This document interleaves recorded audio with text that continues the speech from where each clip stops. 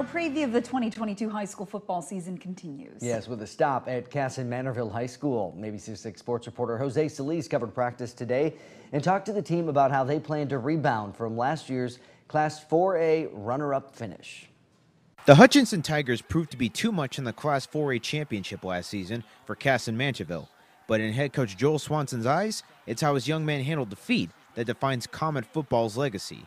It's all about can you get yourselves up? It's like a, today is a tough practice. It's the middle of the week.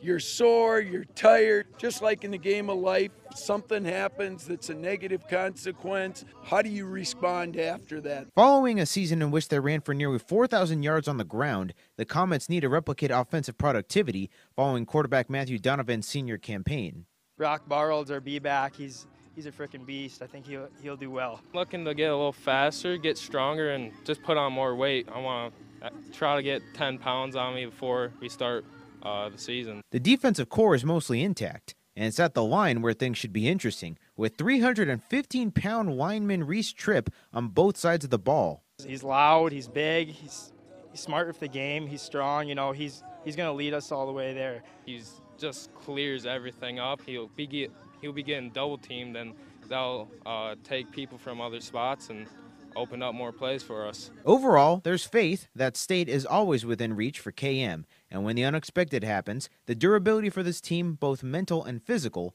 will play a key role in 2022. And last year we thought these five guys were going to be starting, and all of a sudden you got injury, injury, injury. We got to help out the next guys because they're the next guy up. It is a team thing, and you're you're going to need every one of your buddies along the way.